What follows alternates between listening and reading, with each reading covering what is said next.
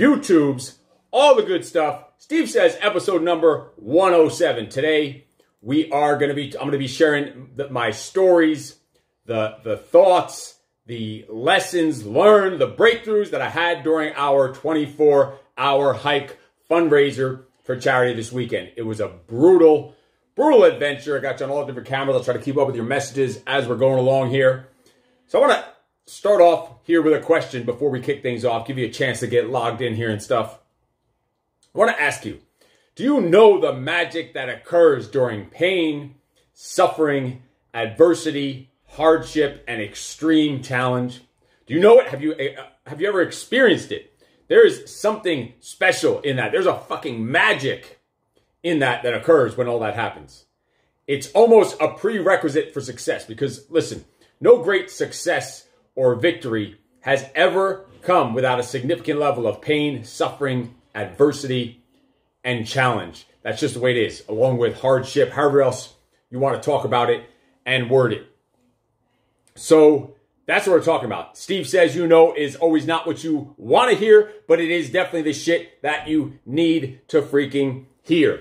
This is, uh, uh, you know, some people will hate, but most can relate to what we're talking about. We are bringing the fucking fire every second of every second. This week's episode, we're going to talk about that pain, suffering, hardship, the types of lessons. What specific lessons did I learn? What were my big breakthroughs and takeaways from the from the 24-hour hike? I want to ask you, how how do you how do you think of yourself when you're by yourself? This is some of the stuff you that you really go through, these deep reflections that you have when you're in these crazy sufferings and hardships that are going on. So how do you think of yourself when you are by yourself? Some serious stuff there to think about. I'm going to adjust one of these cameras here so I can see the messages a little better here on the Instagrams. Put you right here. There we go. Much better. So, also I want to ask you, how much time do you spend on reflection? How much time do you spend on creation? It's it's it's some crazy stuff, but what do you do? How much time do you spend on this stuff? On creating creating things, creating experiences, on reflection. Some serious stuff. Also, I want to ask you, do you really know who the fuck you really are? Like truly are deep down to the bone, to the core. Do you know who the fuck you are? And you know what you're truly capable of? Like, what is your true potential? Do you know these things? And yes, freak, look at this shirt. Check that out. Got it from a project graduate, gave it to me as a gift. Actually brought it to the 24 hour hike. He showed up there with his son, Isaac, one of the graduate of class 007 of the project. So, before we kick this off, before I go into the lessons of what is learned in the suffering and the hardship and the sacrifice, just to break it down, as you know, each week here on Steve Says, this is a live show on how to have a no excuses, badass mindset, guiding you to adapt and overcome and destroy the obstacles that are preventing your success in your health, your family, your finances, so you could stop being a little bitch, get your shit together, and start living life on your own motherfucking terms. Steve says focuses on the mind, the body, and your business in that order, specifically in that order. It's about having a role model mindset so you can operate to dominate with discipline, with energy, with confidence. You could take massive action, make bold moves, take risks, and be your freak self. This is what it's all about. It's a peak freak perspective on personal development, positive mindset, health, and fitness. This is what we are talking about.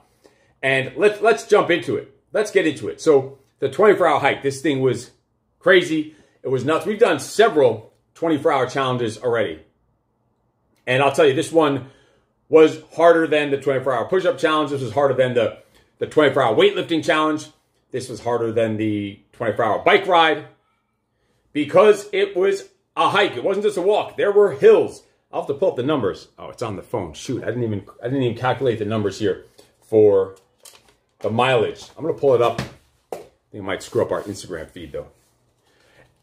Anyway, the amount of mileage between Saturday and Sundays. We started Saturday at noon all the way till Sunday at noon. So Saturday, more fresh. There was 56,000 steps taken and 180 something flights climbed. That's some serious shit. Then Sunday was another 42 to 44,000 steps taken, and another 130 flights climbed for a total of 13 laps of over, it's about somewhere between 3.2 and, and three, or maybe 3.3 miles per lap at 13 laps. So you could do the math. That's over 40 freaking miles of hiking in 24 hours. 40 miles of hiking in over in, in 24 hours. It, it's freak, it was freaking nuts. And let me tell you, I only did 13 laps. So the first lesson here, a huge, big, major lesson to, to take home here was, and this was my challenge that I created, and I did less laps. A bunch of the people there did either 13 and a half or 14 laps. You have to subdue your ego. You have to cut your ego. I did less laps than than other people that were there because there came to a point where one of the the freak little kids that were there with us, yes, a 10 year old and a 7 year old did it with us. Another Padre graduate son did it with us. The little midget needed to take a, a little rest in the middle of the night. At like by 2 a.m., I think she finally crashed out like 2 a.m. after hiking whatever amount of miles. She did over 20 something miles at seven years old. Tyson did only two laps less than me. So do the math on that. That's that's 11 laps over 35 miles or something like that. One of the laps, the, the Russian was sitting there watching the kids. They were sleeping, so she had to stay with them. We, they were out down in the car. We had our base station set up, our camp set up down at the bottom. So I had to, I asked if she wanted to me to watch the kids so she could t- get a lap in because she missed like two laps in a row or three laps in a row and it's going to fuck up her challenge and not get the full effect. And I had to ask myself, I said, you know what? If I sit out this one lap, and let me, I'll tell you the truth too. Another thing is not, not high, uh, uh I'll get to that in a second, but is being vulnerable and showing the truth, showing the real life shit. Not the fucking bullshit you see on the motherfucking Instagram. It's a real life shit. Not being afraid to talk about shit that goes sideways or shit that goes wrong. Like sitting out for that lap, I wasn't gonna I wasn't that upset about being able to sit out a lap at whatever time that was, four in the morning. Except I almost shit my pants during that time. We'll get into that in a second too. Anyway, so I had to I had to say, all right, if I'm gonna sit and watch, stay with the kids here while they're sleeping for this lap, I'm gonna fall a lap behind the group, right? We were all, for the most part, staying together on a laps at least. During the walk, during the hiking, we'd be spread out in little mini groups because we all want to set at different paces, but we would all reset at the bottom and start each lap pretty much at the same time. So I knew if I sat out a lap, I was going to do less. This is my fucking challenge. Mr. Marine, Mr. Peak Physique, all this other stuff. And I was going to have to say, all right, it's late in the game. There's not that much time left. There's only a few hours left. My knees are both fucking jacked at this point. Got a broken fucking toe. It's going to be hard for me to make up a lap if I sit out this lap. But I figured the Russian wanted to do it. Plus, a little sunset was coming up. You know how fucking girls like to see their little pictures and little selfograms and all this other shit of their, of the little sunrise, or no, the sunrise is coming up. Sunset, sunrise, whatever the fuck it is. I don't know. But figure she might want to take some pictures of that. She's actually talking about it. So I said, fuck it. Go. I'll sit out this lap. I ain't going to complain. Actually, the worst thing to do was sitting out for that lap fucking fucked my legs up by sitting there for so long. Just locked them up. But anyway, knowing that, listen, if I do this, I'm going to fall a lap behind. It's going to be damn fucking hard to now catch up a lap. Means I won't get a recovery after one of the laps. I'll have to just turn straight back around. And at that point, it's fucking hobble. It's a hobble fest. It's walking like an old fucking man, crippling a crippled old man walking up those fucking steps. We're to get to all that. But the, so the first lesson was there's shit bigger than yourself. Subdue your fucking ego. Kill your fucking ego. You need an ego at some point, but you have to you have to know how to control that motherfucker and realize it wasn't just about me and doing more laps than anyone else or even not even doing the same laps that I'm going to have to willing to accept the fact that I'm going to have to say I did less laps than the other guys there. Graduates of the project, so I put through the project, I put through this suffering, I'm doing it with them. And they did more laps than me. Think about that. I had to be willing to do that. But that was the next lesson. Sometimes you got to think about other shit other than yourself. It wasn't about me. This was a fundraiser, first of all. It was about hiking for 24 hours. Wasn't about how many laps you can get. It wasn't a competition. Of course, you try to make everything a competition. You want to fucking win at everything. But sometimes you got to fucking eat one. Sometimes you got to take one for the fucking team. And sometimes the team is the family. Those guys were cruising. They were all set. They were good. They were going. The Russian was stuck behind. I had to say, all right, I'm going to fucking have to these guys who I was torturing, some of them just graduated a month ago in September. And now I'm inviting them to my challenge, my freak fucking challenge, suffering fucking. And I'm going to do less than them. I did less than them. I ended up doing a lap less or a half lap less than, than most of the people there. And that's something I had to be willing to accept. Because then I ran out of time and I would not have been able to finish the lap in time. And I actually had a second chance to do that. The final lap, there was still some time. I could have made it up. A second chance after, I could have made up this lap. I'm a lap behind. I, I took a very short break, went to another lap, got one in with Tyson, and then said, you know what? We, we, we could go as a, a, a freak family, the four of us, and you know, most of the time we're going at different paces. Half the time it was me and Tyson alone. Sometimes I'm alone by myself. Sometimes just with the project guys. Rarely were we all together as a freak family. Just four of us for an entire full beginning to end lap. And I said, you know what? This last lap, although I can go off, I still had some, you always have more in the tank. That's to be the next lesson. But I still had, in complete fucking stiffened fucking pain and all this other shit, suffering pain, I still could have gotten another lap in.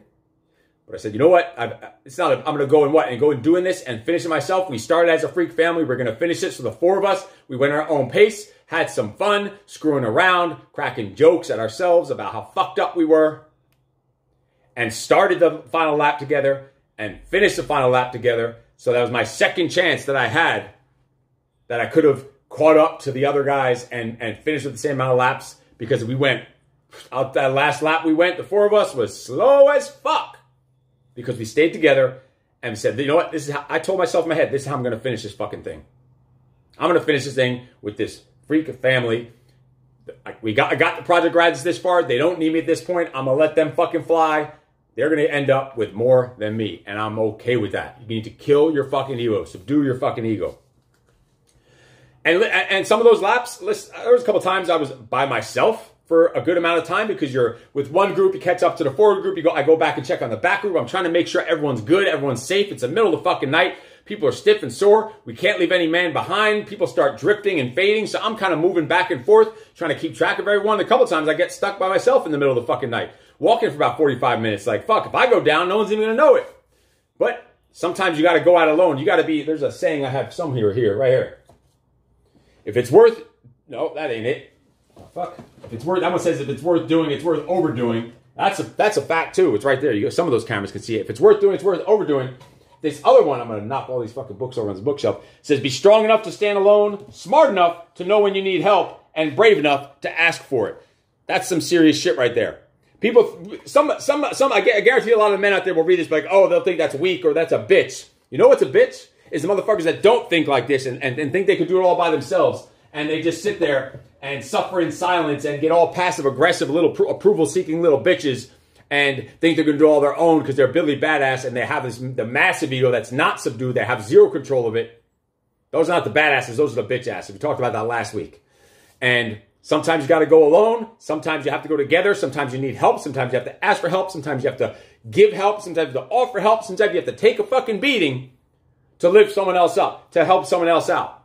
Sometimes you have to get less fucking laps, less work in your own fucking challenge that you started, you created, in order to feel like to do what you feel like is the right thing to do at that point.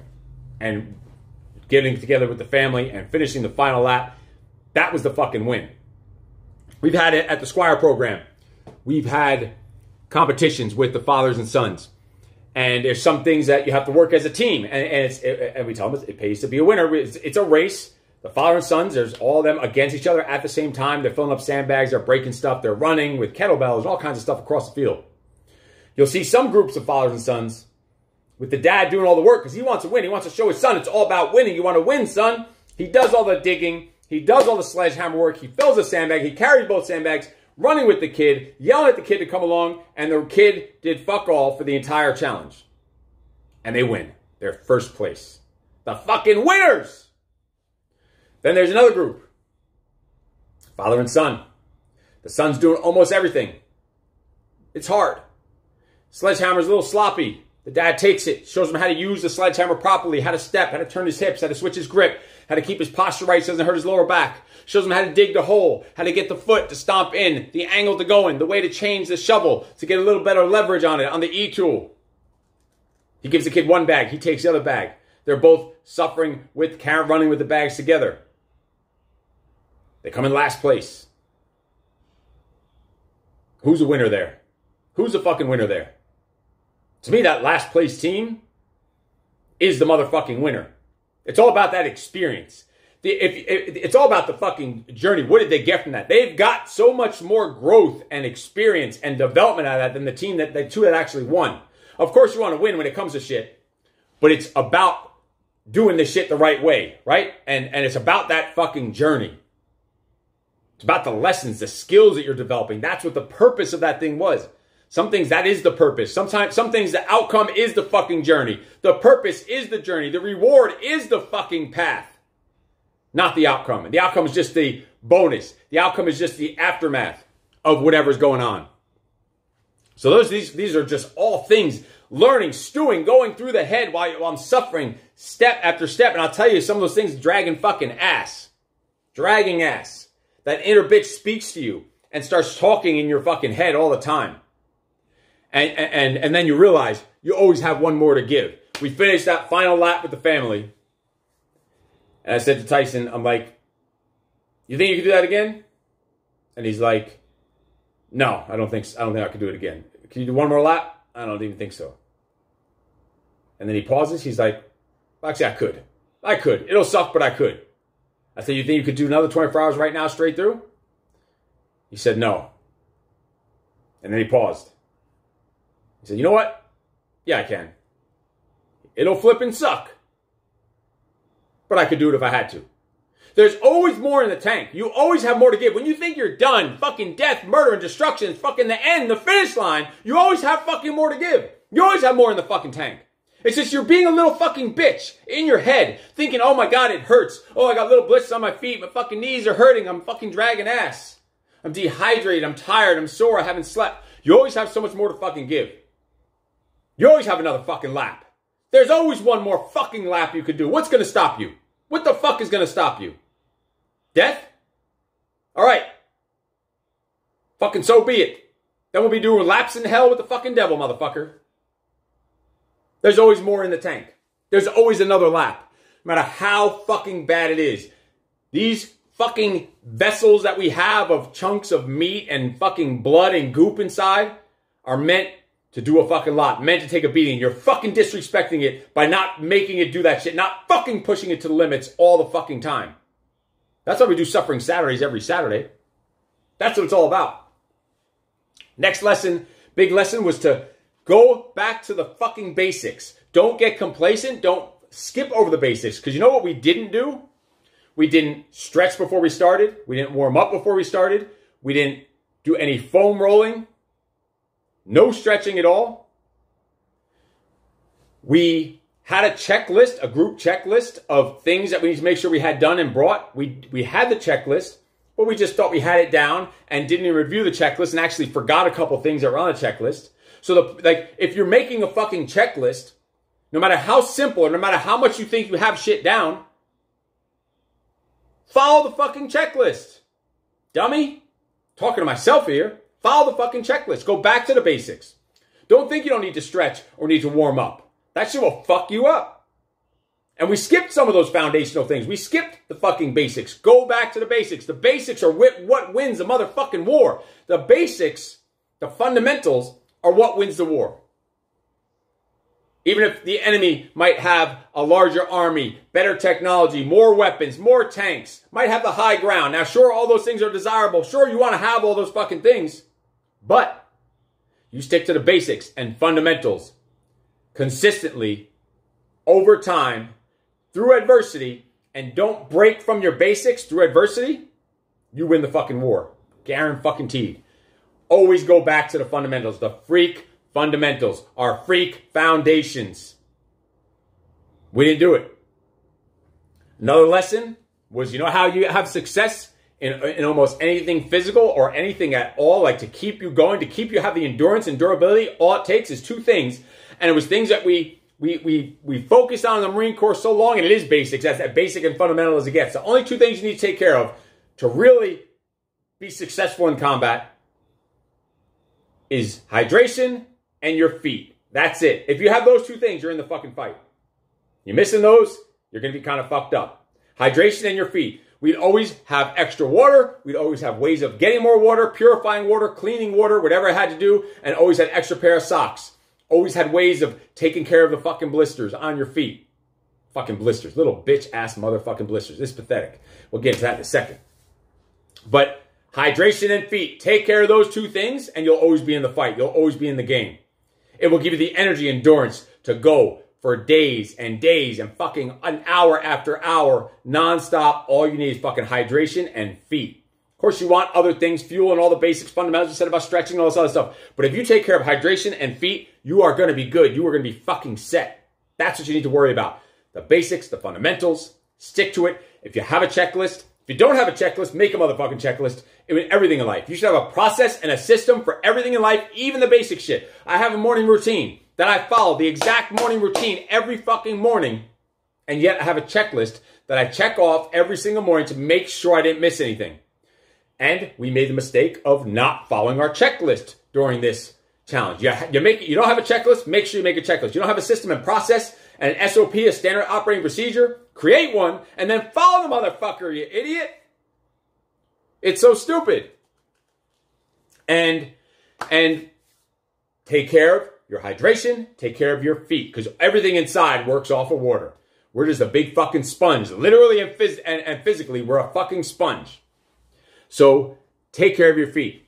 Another thing that was, you can call it a mistake or not a mistake, is we do these challenges without practicing them. We don't practice, we don't build up them, we don't train for them. We want it, it to be a fucking challenge. Because if I challenge for, if I practice for a 24 hour hike for like two, three months, it's not a fucking challenge. It's just another day at the park, another day walking through the hills. But we didn't hike like crazy. We haven't, I haven't hiked since the last project class. And the time before I was part of the project class before that. We just haven't made it to too many hikes lately. We knew we had this coming up, so we didn't do any hikes. We didn't practice for it. To make it a challenge. Like, find ways to test yourself. Find out who the fuck you really are, what you're really capable of. What are the possibilities? What are the capabilities?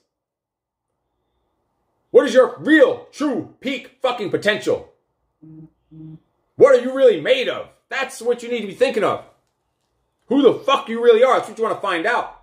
If I practice for it, sure, I can practice for it, but that's not going to help me find out who I am then. Because I was practice, I was prepared. Of course, competition, all that. But looking for a challenge, looking for a freaking challenge, then I don't need, I don't want to, I don't even want to practice. I want to find out. I want to be in the fucking pain.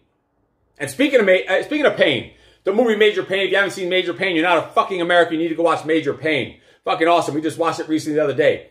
And we now, we created in this, in, during this, I had the, the major pain effect, right? So I had a broken toe going into this challenge. Said I'm gonna be fucked up. I couldn't put on my hiking shoes. So I had to wear either running shoes that were not tied at all on the left side. I only could tie one part it. I had to loosen up the lace as far as they would go because a foot couldn't fit in with a broken pinky toe. Just a pinky toe. A little fucking, looks like a little peanut. Little fat, nasty, rotten fucking peanut that I elf and shit out. All deformed and shit. But I, I couldn't put any, any hiking shoes on. I have all these great hiking shoes and hiking boots and hiking shoes. Trail running sneakers. None of them would fit over the fucking nasty toe. So I had to wear just running shoes that were completely loose. And then I would alternate that with a pair of fucking sandals, like basically flip-flops on the trail.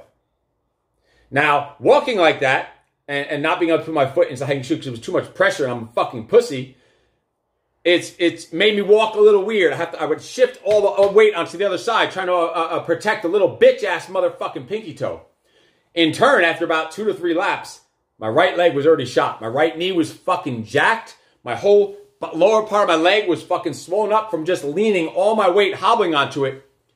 Go back to the basics. Go back to the fun. Be more efficient in shit you're doing.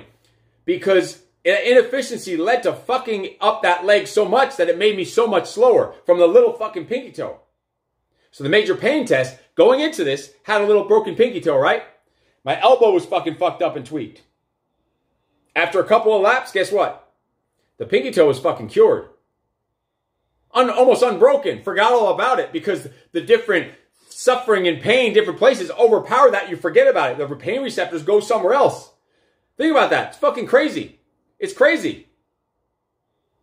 And, and, so now the knee is all jacked up, and now you're just saying, shit, I, I just started tightening up the sneaker on the foot because I'm like, fuck it. I'm just going to, and the, now at that time there's a blister. If I show you the blister, it looks like, I don't know what the fuck. Blisters all over his foot, like I'm talking globs of goo inside them. One of them has all this yellow squishy stuff inside. I'm ready to pop it. One is like purple and black on the foot because, and that was after a couple of laps because I was hot, trying to protect the little bitch ass fucking pinky toe. So, the, so the point is, the major pain effect is if you saw Major Payne, he rip breaks their finger to make them forget they got shot in the leg because the pain just overpowers it. Is that shit ain't never as bad as you fucking think. Stopping a little bitch, like it pisses me off so fucking much that I was such a little fucking bitch over a little pinky toe, adjusting everything, making myself so inefficient the way I was walking, fucking up this leg. Like my lower leg right now is still blown up like a fucking balloon from whatever, just swollen from walking so fucking weird on it, which fucked up my knees and all this other stuff.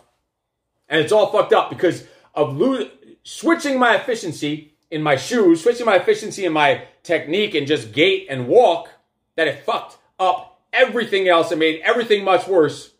And you forget all about the fucking pinky toe. So that leads into the next fucking lesson, and a huge one. Is when you have a little itty bitty problem like a nasty fucking pinky toe, don't fucking stress over it. Don't go overboard trying to uh, accommodate the little bullshit, little fucking speed bump and create a thousand other fucking problems. Now I have all these other fucking weird shit going on, all these weird fucking blisters, weird fucking knee feelings, swollen fucking legs like a fucking a fat ass. Like this one leg is as fat as fuck right now from a fucking pinky toe. And it pisses me off to like to have that such the bitch ass fucking mentalities disgust me inside that I let a little tiny thing like this right? A little fucking nutshell shit out by a fucking elephant turn into this big, big blisters and bubbles and, and fucked up shit on the other side from letting that tiny thing affect me. So don't let little fucking speed bumps, little problems in your life affect you and blow them out of proportion and waste so much time and energy, and make yourself so inefficient and waste so much fucking time and it, mental and emotional and physical energy on shit that doesn't fucking need or deserve it. Just fucking forget about the stupid little problem and just fucking march on. I should have just put on the fucking hiking boots, wrapped them up, sucked up a little fucking pain in the pinky toe, and not walked like a fucking idiot and fucking up the other leg, and shit would have been fine. Don't let little problems become big problems by overreacting, stressing, letting your emotions take over, overthinking shit in your head, and then creating much bigger fucking problems. That's what we do in all areas of life. Not talking about just physically. I'm talking about in life, in business, in relationships, in all fucking areas of life. Fucking pisses me off. Pisses me the fuck off. So, those are some of the main big take home points. Control your damn body. Go back to the basics. Follow and prepare for your checklist. Don't get fucking complacent. Don't let little problems turn into big problems. Subdue your ego. Be willing to eat shit. Take one for the team. Put other people and other things above yourself. Share your struggles when you're on the internet, not just always your fake bullshit fucking life with all your stacks of fucking cash and Lamborghinis that you fucking photoshopped into your picture and all this other bullshit. Have something above your fellow self. Have a fucking higher calling. So anyway, this was, you know, this was a, a, a fundraiser for charity for Save Our Allies Foundation out in Afghanistan. And so we raised over $2,000, over $2,200 raised. We did 40 something miles, over 300 sta- uh, floor, floors climbed, and fucking got a shitload of blisters from being little bitches. And got so, but mo- most importantly, there were human connections going on, relations being built, people meeting for the first time that came on the hike with us that are now connected by going through this suffering because this shit it was fucking, it wasn't fucking easy, I'll tell you that. It was the hardest 24 hour challenge we did. We got some more challenges coming up. This is the hardest one we've done so far. Now we have to find something even fucking harder. And you know what? After we do these challenges, Tyson always says, Are we ever gonna do that challenge again? And I always say after we're done, I'm like, fuck no. Fuck no, we're not doing that one again. But you know what?